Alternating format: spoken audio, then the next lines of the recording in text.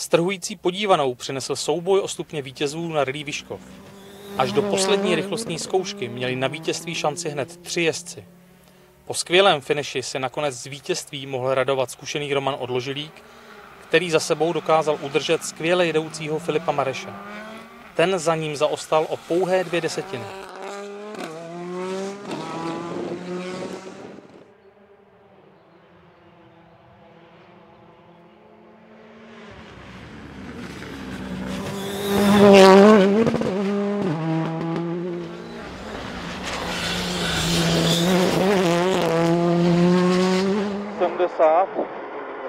Brzda pravá 5, ostrá zodům klouže. 100 cíl.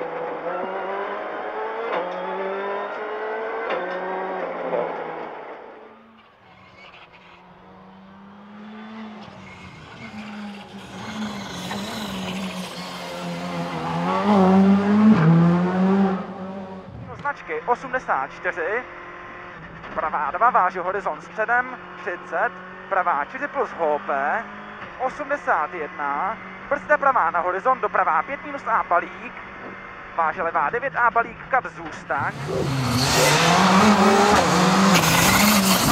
Třetí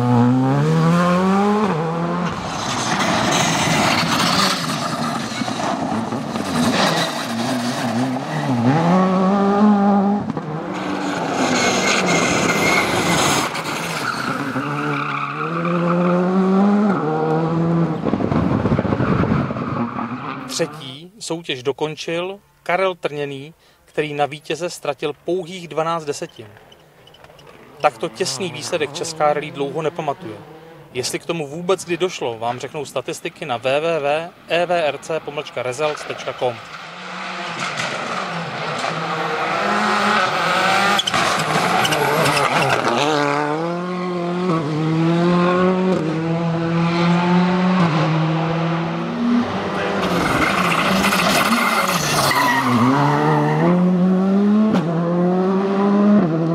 Čtvrté místo si z Vyškova odváží testující Martin Vlček.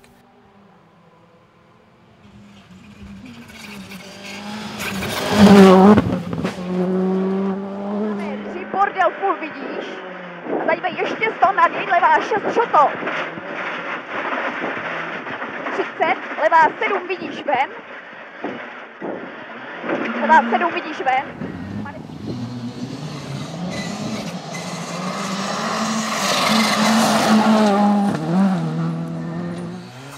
Po pěkném výkonu uzavírá domácí Patrik Rujber.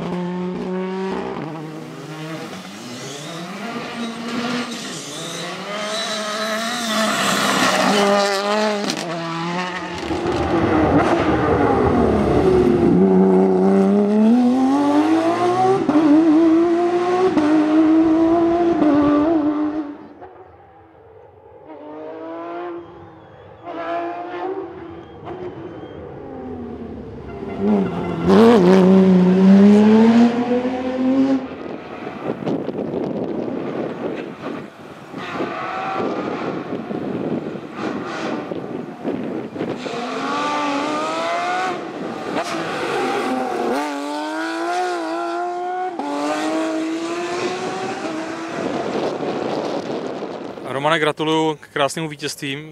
V závěru to byl opravdu lišácký výkon. Chválím taky eh, nádherného kulicha.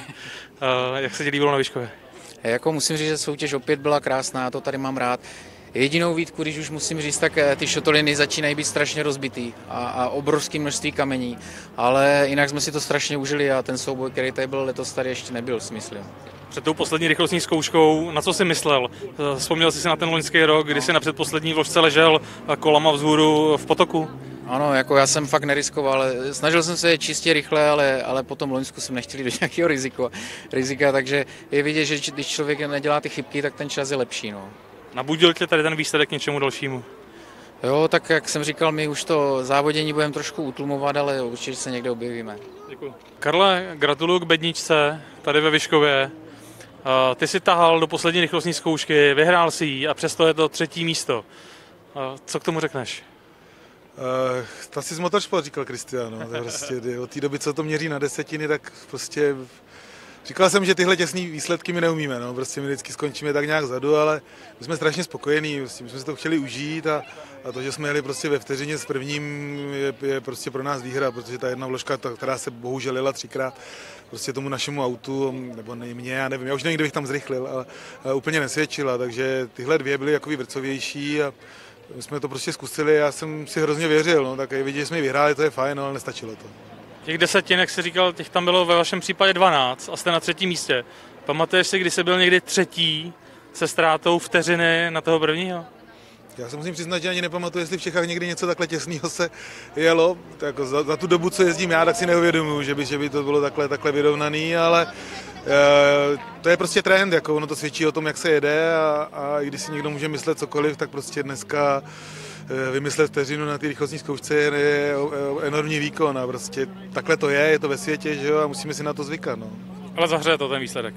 Jo, my jsme spokojení, a tak samozřejmě nás to mrzí, že jo, ale jako myslím, že se nemáme po dlouhé době za nic za co stydět. Děkuji.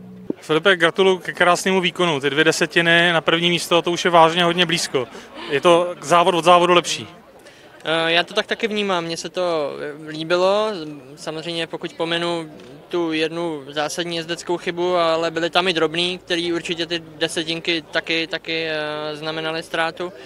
Ale to je rally, ty chybičky dělá si troufám říct každý a kdo jich udělá méně, tak, tak je nejrychlejší a dneska to byl Roman, patřím gratulace k vítězství. Ty jsi to ustál, myslím si, že i na tebe musel být eh, minimálně psychický tlak před tou poslední rychlostní zkouškou. Co jsi si říkal? Eh, zkusím to, anebo byl to konzistentní výkon dál? Uh, ta druhá varianta. Opravdu upřímně říkám, nejeli jsme žádný hop nebo trop. Uh, to bych dostal vyhubováno slušně řečeno, protože opravdu ta priorita tady byla odzkoušet nějaké věci a, a kdybych tam jako ztratil hlavu a šel do toho souboje po hlavě a nedej bože tam něco vyved, tak by to byla škoda před Krumlovem a a jeli jsme dál to svoje tempo, upřímně řečeno, věřil jsem, že by to mohlo stačit, ale jak říkám, Roman to zajel výborně a, a patřím gratulace. I tak je to ale tady pro tebe ve Vyškově první absolutní bedna, je to tak? Ano, ano. To je samozřejmě hezký, ale jsem závodník, takže nebudu zastírat, že jsem uh, doufal, že by to mohlo ještě o tu jednu příčku výš být, ale, ale tak to je. Já myslím, že to přijde. Já doufám a udělám pro to maximum. Martine, uh, loni si tady stál na stupních vítězů na tom úplně uh, nejvyšším. Letos to je trošku bramborová pozice, ale jak hodnotíš testování? No, my jsme ten sprint obětovali, takzvaně obětovali jsme ho na to, abychom si zkusili Škodovku a už jsem to říkal jednou, že jít do, do přímého závodu bez řádného funkčního testu je holý nesmysl, my jsme to teda udělali. Takže e, jsme v podstatě poznatky a průběžné nastavování auta měnili až v závodě samotném. Ale kdybychom si, myslím, odečetli defekt, který nás stál moc času a strachu a a penalizace, které jsme dostali v rámci kontaktu s retardérem, tak si myslím, že by to nebylo vůbec špatné, takže e, zatím dobrý a budeme vyhodnocovat. Jak ten soused z Boleslavy teda dopadl? Jak ho hodnotíš ty? No, e, já, jak říkám, já bych si to teprve všechno rozmyslel, protože je spousta pozitivních věcí, pak jsou i věci, které se mně jako pilotovi nelíbí, takže e, je třeba si stanovit priority, tak jak to je v životě, takže uvidíme. Tak já ti děkuju a těším se s tebou na, na viděnou na nějakém dalším závodě. Hmm, to se spolehni, mějte se fajn. Ahoj. Patriku, gratuluju k podle mě velmi slušnému výkonu tady ve Vyškově. Jsi s ním výkonem spokojený, pátý místo? Jsem spokojený, ale myslím si, že není tak výborný úplně. Jsme tady doma, ehm, pěkný tratě bylo sucho, takže optimální výsledek. Očekávali jsme, že startovali jsme pátí, chtěli jsme pátí dojet. Myslíš si, že je tam potenciál jít dál a tlačit a, a závodit o tu bednu? No tak určitě tam potenciál musí být, když kluci se stejným autem jedou daleko rychleji jak my. Takže budeme samozřejmě na tom pracovat a budeme hledat ty, ty drobnosti, kde jsou a zkusíme se zrychlovat. No. Ty třeba během soutěží, nebo takhle během soutěží, mimo soutěže testuješ, nějak se připravuješ, eh, dá se říct, že eh, se připravíš na tu soutěž předem? Ne, úplně minimálně. Já bohužel teda musím jakoby hodně intenzivně se věnovat práci, teď se nám moc nedaří, takže je to náročnější a, a takže jsem 12 hodin v práci a v podstatě nemám žádný trénink. A z Vyškova budeš odjíždět spokojený? Jo, určitě, určitě, odjíždím spokojený. Moc krásný tratě, krásný závody, krásný počasí. Děkuji. Děkuji tak. Igore, uh, skončí rally Vyškov, ale já si chci zeptat na něco úplně jiného. Dneska večer se hraje hokej. Víš to, kdo hraje hokej? Jo, tak... Hrajou naši. To si ma zaskočil, to naši to znamená Česko proti Slovensku, alebo Slovensko proti Česku? No naši. Tak. Naši, no tak potom asi vyhráte vy, lebo vy ste tradične lepší v hokeji ako my tak držím vám palce, lebo v podstate tým pádom vyhrám aj ja, lebo ja som ako Čechoslovák, e, ja som prisahal na vojne, ja občan Československej republiky, nie slovenskej. Čiže ja som Čechoslovák, ja vyhrám aj prehrám naraz. Ja taky a ja mám radost, že dneska vyhrajú naši. A ja sa teším. A držím vám palce, nech sa darí. Čau. Tak.